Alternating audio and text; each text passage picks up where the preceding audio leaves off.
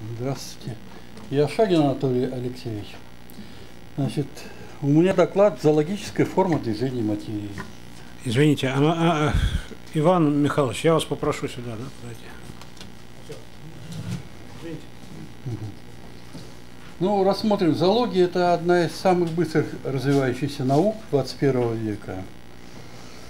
И я являюсь идеологом творческого класса, разработал книгу «Социал», а зоологической формой движения материи.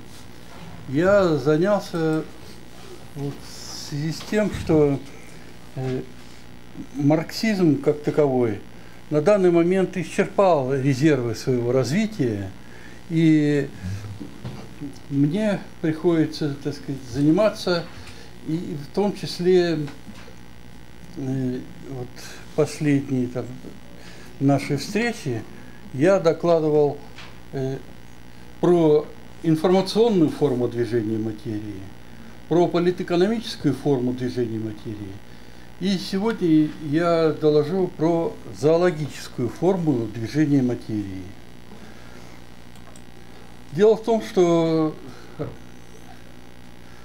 в марксизме, как и Энгельс перечислил форму движения материи, так до сих пор э, развитие вот, вот этого философского рассмотрения вообще всей материи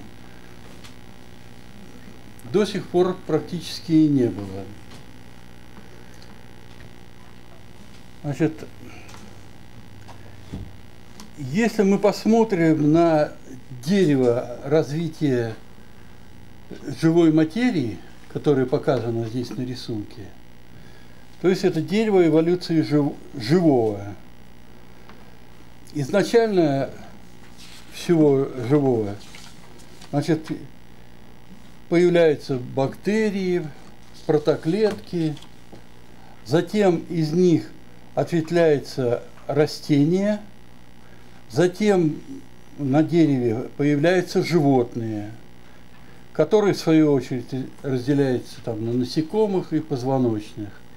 И дальнейшее развитие вот этого дерева приводит к образованию человека. Э, растения и животные представляют собой два царства. Это как бы общепринятое. Но вот животный мир, наше познание, оно можно характеризовать следующим.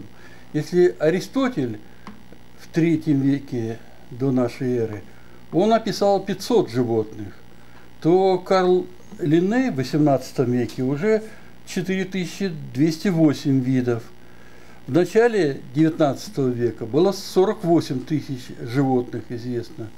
В конце XIX века уже 400 тысяч. А сейчас уже известно миллион животных. Э, в систематике животного мира известно 8 таксономических, таксономических категорий – это домен, царство, тип, класс, отряд, семейство, род и вид.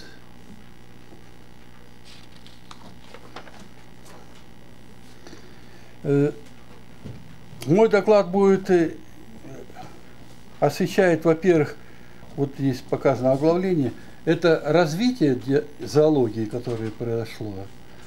Второе – это философская, философия зоологической природы – Третье. Описание материи живого животного. Четвертое – это нервное обучение. И пятое – это типы нервных систем. И затем будет заключение. Основной гипотезой моего доклада является то, что зоология является отдельной формой движения материи –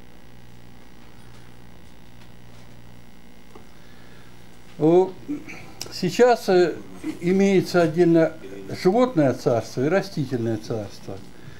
На рисунке 2 представлены типичные представители, там, например, куст и мышь.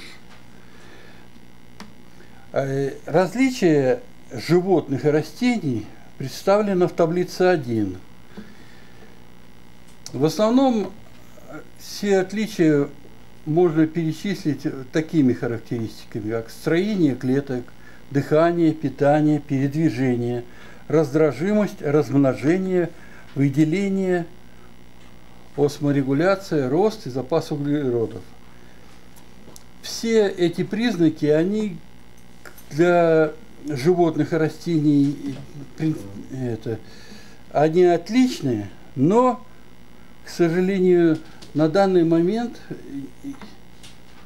общепризнано, что все эти э, различия можно свести к количественным изменениям.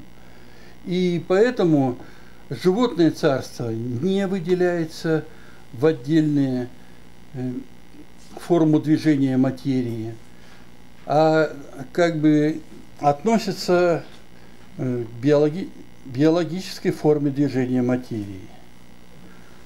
Но с чем это, значит, какие последствия от того, что животное царство относится к биологической? Э, биология подразделяется где-то примерно на 30 подразделений.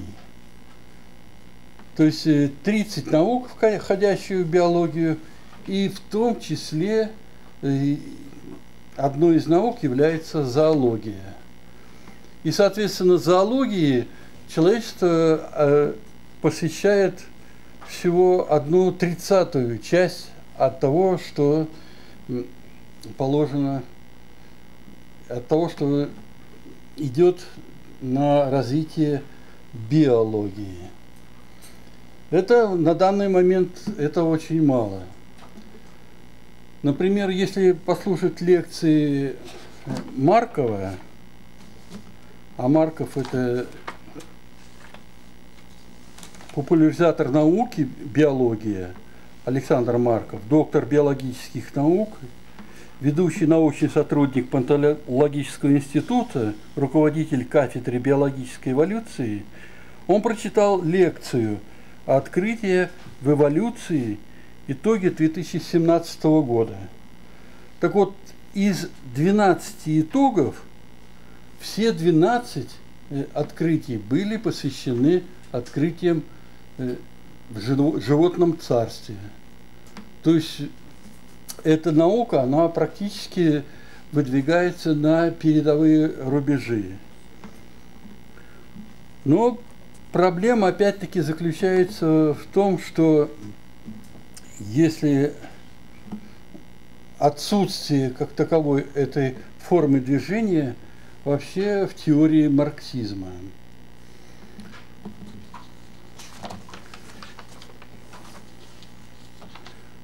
Значит, рассмотрим философию зоологической, так сказать, природы. Здесь э, на рисунке 3 показан график развития материи.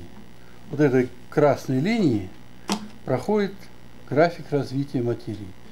Если в марксизме э, развитие материи представляется, так сказать, простой последовательности механическое, физическое, химическое, биологическое, социальное, то на этом графике э, эти, эти материи, они выстраиваются в виде кривой линии, а по вертикальной оси откладывается энергия взаимодействия элементов данной формы движения материи – ну, например, химическое взаимодействие молекул сопровождается выделением энергии 10 электрон вольт, физическое 10 шестой электрон вольт.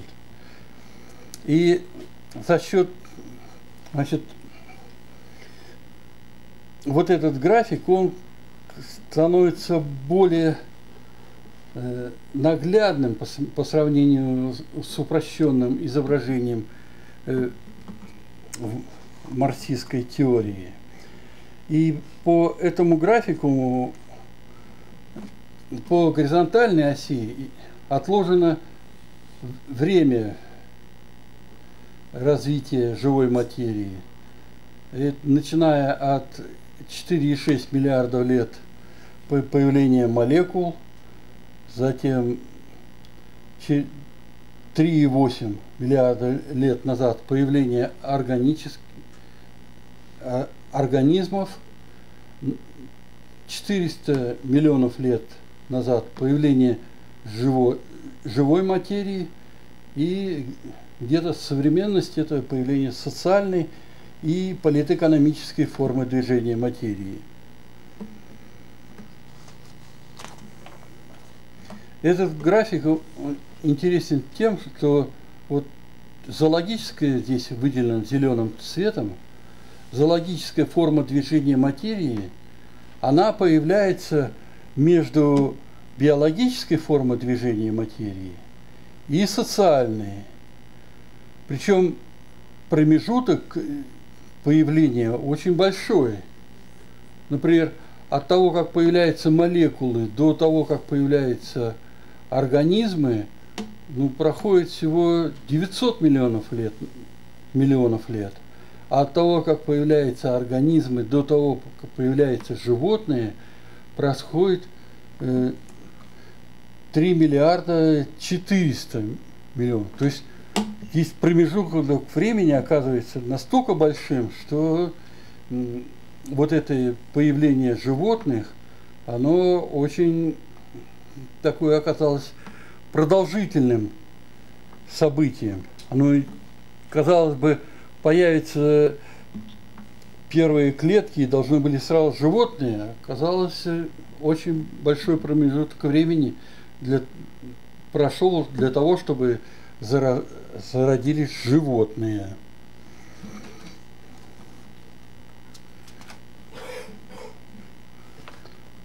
Но относительно того, что новых форм движения материи, в марксизме были попытки, например, создать э, Кедров Бонифатий Михайлович предлагал геологическую форму движения материи.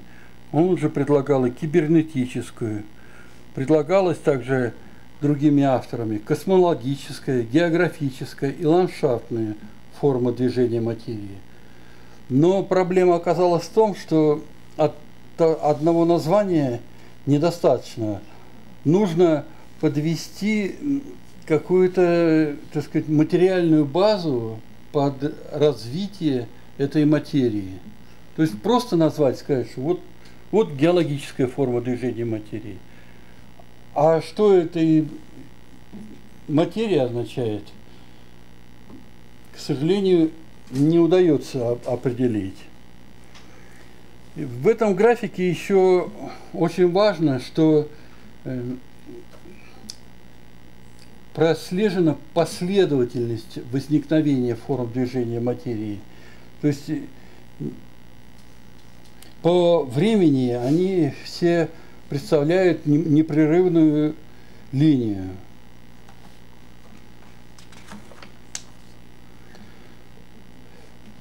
Есть определенные характеристики, э, которые высказал Энгельс по тому, чтобы определить форму движения материи. К сожалению, в марксизме форма движения материи как бы определяется постфактум. Вот механическое, механическое это просто передвижение, там, биологическое это э, появление э, жив, живо, живого чего-то. А вот э, критерии возникновения и развития, к сожалению, в марксизме не дается. Просто дается постфактум и наличие явления и, ну, и примеры его проявления. А вот критерии, к сожалению, такой вопрос очень казался сложноватый. Я в прошлый раз хотел эту философскую, зоологическую форму движения материи доложить, но не хватило тяму для того, чтобы подойти и объективно рассмотреть этот вопрос. Ну, Энгельс в свое время разработал классификацию форм движения материи. И основные пункты заключаются в следующем. Значит, форма движения материи связана с определенным носителем. Второе. Формы движения материи качественно различные. Третье. Формы движения материи при надлежащих условиях превращаются друг в друга. Четвертое. Формы движения материи отличаются по степени сложности, причем высшие возникают как синтез низших. И пятое. Классификация форм движения материи служит основой классификации наук. Ну, вот по пункту форма движения материи связана с определенным материальным носителем, можно сказать, что материальным носителем зоологической формы движения являются животные. Вот здесь они как бы как первый элемент этой материи. Здесь отмечено животное, то есть момент их появления. Ну, элементарный объект э, зоологии – это животное. Э, качественное различие форм движения материи ну, можно определить тем, что э, биол, э, растения и животные определяют два различных царства. То есть вот два царства это есть и принципиальное различие. Э, момент превращения одной формы движения материи в другую э, также отражается в этом графике, то есть из биологической формы движения материи неизбежно должна была появиться животная форма движения материи.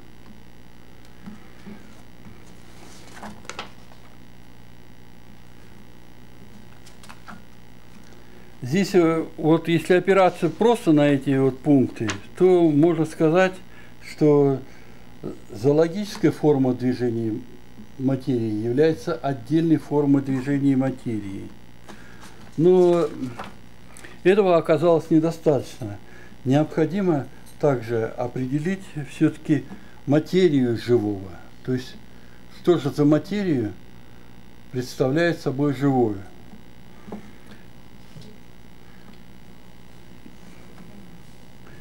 Изначально живое произошло от простейших организмов, которые, например, прокариотическая клетка показана на рисунке 4.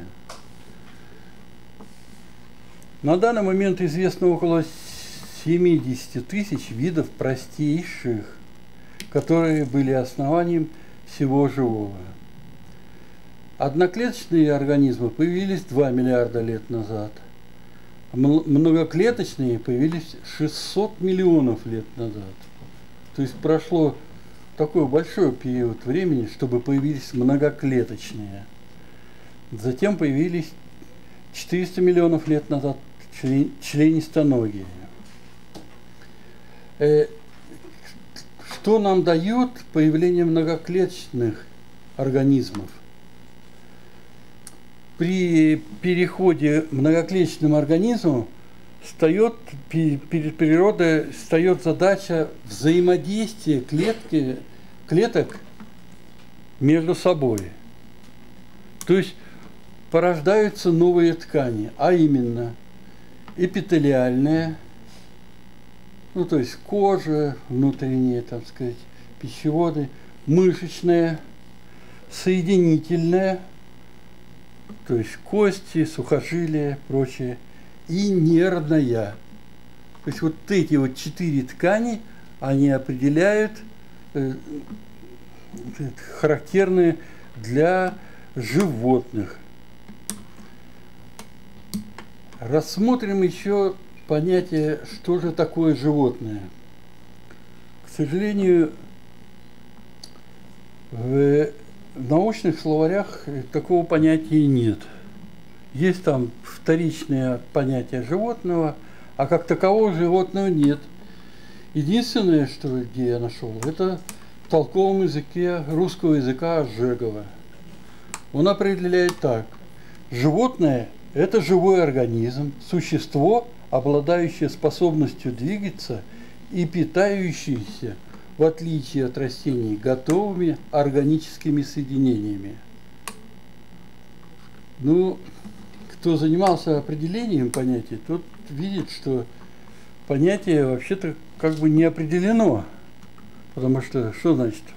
Это то же самое, что собака это, это слон, который в отличие нет. Собака это слон, который виляет хвостом, в отличие от слона. То есть здесь э, это определение вообще-то, по сути говоря, неправильное.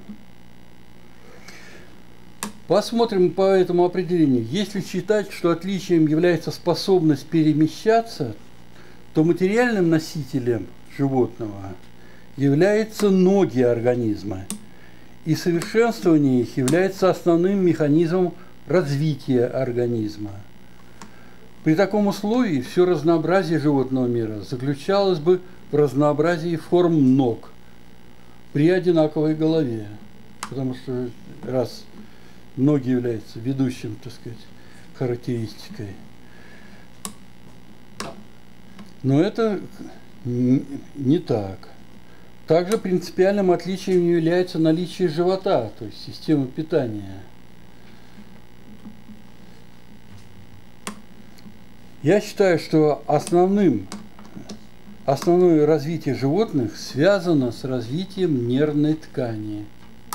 Вот из четырех, из четырех видов тканей, которые отличают растения от животного, именно нервная ткань является главным признаком э, животного. И поэтому кратко можно сказать э, грубо, что животное – это организм с нервной системой. Но Тут надо уточнить, не всякая нервная система является определяющим для организма. Вот нервная система по определению – это система организма, обеспечивающая взаимосвязанную регуляцию деятельности всех систем организма и реакцию на изменения условий внутренней и внешней среды. Э, для нас интересует я считаю, что из нервной системы нас интересует э, значение, которое проявляется в передаче информации от э, одного поколения к другому. Еще Жан-Батист Ламарк э, в своей книге «Философия зоологии» написал второй закон, который э, заключается в том, что все, что природа заставила особей приобрести или утратить под влиянием условий, в которых с давних пор пребывает их природа, и, следовательно, под влиянием преобладания употребления или неупотребления той или иной части тела, все это природа сохраняет путем размножения у новых особей, которые происходят от первых при условии, если приобретенные изменения общи обоим полам или тем особям, от которых новые особи произошли. Ну, э, в книге «Социал» я аналогично исследую, и вот этот... А, и основное приспособление, я описываю приспособление животных, я описываю формулу познание – это творчество плюс обучение. И здесь характерно тем, что творчество это относится к случайному процессу, а основное, основное э, отличие – это обучение, то есть способ передачи полезной информации, которую накапливает данная особь, своему последующему поколению. На таблице 2 вот способы обучения э, показаны. Здесь для различных форм движения предживое, биологическое, зоологическое, социальное, политэкономическое показаны способы обучения.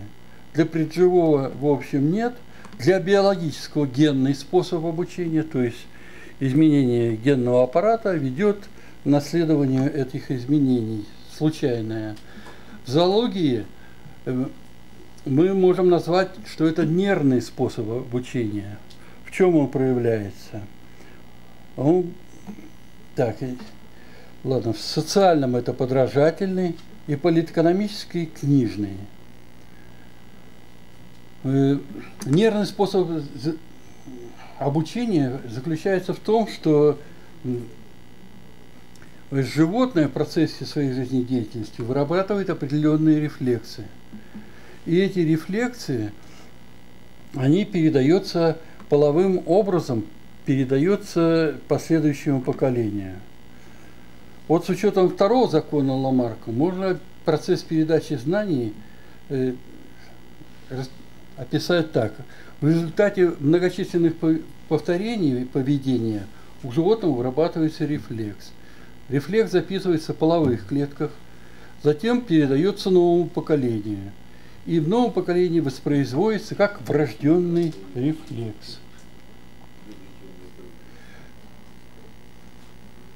Так. Типы нервных систем. И здесь мы надо остановиться на типах нервных систем. То есть вот раз, развитие всего живого. Ну, сейчас. Развитие всего живого приводит к тому, что совершенствуются типы нервных систем. Там диффузовая, стволовая, узловая, трубчатая, головная, высшая. Вот э, на последней мы видим, что э, развитие этой нервной системы приводит к нас к новой форме движения, к социальной форме движения материи. То есть э, именно вот этот показатель, он и является основанием для развития. В заключение вот скажу следующее. Зоология – это биология организма. Э, зоологическая форма движения, она расположена между биологической и социальной. Э, природа – это поведение организмов, материальный носитель – животные, наука, которая изучает – это зоология. И э, еще хотел бы заметить, что появление зоологической формы движения материи – устраняется двухсотлетняя война между дарвинистами и ламаркистами. Что является причиной, так сказать, основной причиной развития живой материи, 200 а лет уже идет спор. А такой подход, он говорит, что в какой-то части это происходит посредством нервной деятельности, а в какой-то части генетическое обучение. Все, это факт Спасибо. Все-таки, наверное, самая такая животопещущий вопрос, это что первично все-таки, курица или яйцо? Это очень философский вопрос. Что первично все-таки, курица или яйцо? У динозавров есть яйца. Были. Курица. Курица. Хорошо. Пожалуйста, ваш ремарка, вопрос. То есть три взаимосвязанных вопроса.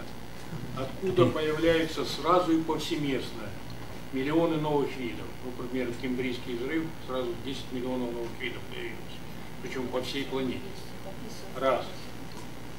Почему не уцелели вполне конкурентные способные виды, скажем, саблезубые тигры, пещерные медведи, недертальцы? Кто их вытолкнул из реальности? И последний вопрос. Почему остановились в своем развитии очень вроде бы перспективные уцелевшие виды? Ну, к примеру, дельфины, у которых мозг больше, чем человеческий, слоны, сороки, собаки, орангутаны и шимпанзе. Что остановило их дальнейшее развитие? Вот три вопроса. Они взаимосвязаны. Мне хотелось бы вопросы по теме доклада, так сказать. Ну, почему, так сказать, исчезли те или иные виды, это не относится к теме доклада. Я хотел бы не отвечать. Ну, вы имеете право не Да, отвечать. один ответ есть, Да, дальше продолжаем. ну, вы признаете вообще наличие зоологической формы движения материи? А? Конечно. Хорошо. Понять, в чем она заключается. Ну, от того, что вы узнаете, почему погибли саблезубые тигры, э, не изменится ваше отношение. Можно вопрос? Да, пожалуйста. Мне хотелось бы еще спросить, вот получается, что движение материи, а нельзя ли этот термин немножко переначить? Эволюция форм материи, которые предполагают различные виды, то есть эволюция форм, и первично ли сознание или первично материальная, как сказать, составляющая. Потому что все эти формы материи, как вы говорите, движущиеся, обладающие сознанием, то есть сознание мы не исключаем, то есть что порождает сознание той материи, которая эволюционирует? Нервные клетки или сознание, наоборот, формирует себе органы и ткани, которые позволяют этому виду эволюционировать. Ну, примерно так. Ну, я материалист. Если посмотрим на график, то мы увидим, что по мере снижения температуры появляется человек. То есть вот в начальной температуре, там, тысячи градусов, когда начинают образовываться молекулы, человека не может появиться однозначно. То есть материя, она, э, э, природа формила- формировала материю именно э, в соответствии со снижением температуры нашей Вселенной. Вот была бы температура другая, и материя была бы другая. Вы здесь говорили, что наследуются признаки, которые появились в результате выработки рефлексов, условных рефлексов. Да? Да. Ну это ж, э, Трофим Денисович, Зирка, это же Да. То есть вы согласны с ним, да?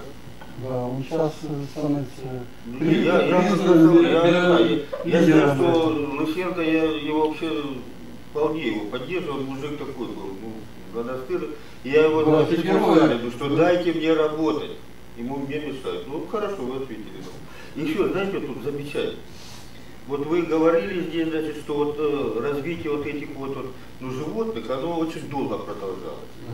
А вот смотрите, вот теперь на этот график смотрите, в это же время очень медленно остывала вот эта вселенная. И то есть, похоже, она мешала ей. Понимаете, вот мешала это, в это время, вот там вот резко вот это изменение, и животные появлялись быстро. ну график так он. как да не, я не спорю, ну просто так, я как физик, я просто графики люблю, понимаете, поэтому я на него смотрю, у меня такие вот напрашиваются выводы, что здесь просто животным вот эти мешало развиваться. Ну просто идея такая, смотрите. Не, пока не прошли все химические реакции, Все Земле, понятно, нет, вот вы сказали, что животные очень долго А? развивались. Животные очень долго развивались. Да. Да. А вот им мешало как раз вот это, что очень медленное изменение температуры. Вот я мысль как бы хочу Ну, продумать. тут я не знаю, какая. Ну, имейте в виду, что я-. Ну все. Пожалуйста. Э, Что вы можете сказать касательно информационного движения материи? Можно ли выделить ее в отдельную форму движения и на каком основании? Или она присутствует во всех вами перечисленных? Ну, у меня немножко другое, как бы немножко не относится к докладу. Информационную форму движения материи я докладывал. Информационная форма движения материи э, материальным носителем является супрамолекулярные соединения. Супрамолекулярные. А в отличие от молекул, там м, химического взаимодействия нет. Там есть информационное взаимодействие. И супрамолекулы, они обладают э, не химическими свойствами, А у них в основном происходят обратимые реакции. То есть солнышко нагрело, э, реакция пошла в одну сторону. Солнышко э, зашло, реакция пошла в другую. И в принципе-то мы-то все являемся супрамолекулярными, потому что все, э, большинство наших реакций являются обратимыми. То есть там, перенос кислорода, э, кислород захватился, доставился, потом обратно. И э, поэтому э, супрамолекулы это очень интересное, так сказать, явление. И химик, открывший супрамолекулы, ну, описавший супрамолекулы, э, получил Нобелевскую премию. Но опять-таки это, не, это уже не химические так сказать, взаимодействия, а инфо, предтеча всей, всего информационного прогресса живой материи. А вот в той связи, которой мы пользуемся, тоже супрамолекулы участвуют? В какой связи? Ну вот в частности технической. А? Где? В информационно-технической я имею в виду. Ну, радиоволны. Радиоволны, да, например. Не, не, не, ну какие супрамолекулы? Пожалуйста, э, ваше имя, отчество. Вот, а э, мы можем также причислить э, некоторых животных к тому, что они обладают социальной иерархией и социальным поведением. Вот, например, волки, которые организуют стаю, а, там четкое взаимо взаимодействие между членами стаи. Они четко распределяют свои роли, когда нападают на, а, скажем так, других животных. Вот. И в этом отношении они в какой-то степени подобны нашему а, обществу. Понимаете? И зачем мы отказываем? Да. По идеологии творческого класса э, волчья стая является социальной формой движения материи. Социум – это общество, там больше, меньше. А в марксизме социальная форма движения материи – это только человеческая.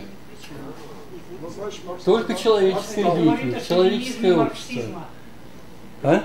Это говорит о шовинизме марксизма. Почему шовинизм? Личный антропоцентризм. Развитие ну, пока человек не стал, извините, пока он не стал homo sapiens sapiens, извините, он все равно стадное животное, он все равно социум. Николай вам слово предоставить. Да. Нет, я просто сам... Объяснить нюансы. Э, марксизм, к сожалению, не, все, не, не догма. К сожалению, очень часто ошибается. Пожалуйста. Ну, просто вопрос философский. Почему не догма? Это единственное верное учение. Ну, извините, это сказал Ленин, но он всякой чуши наговорил вдвое больше. Хорошо, кто, кто еще хочет вопросы? Или ремарки, пожалуйста, у кого-нибудь. Хорошо, спасибо большое.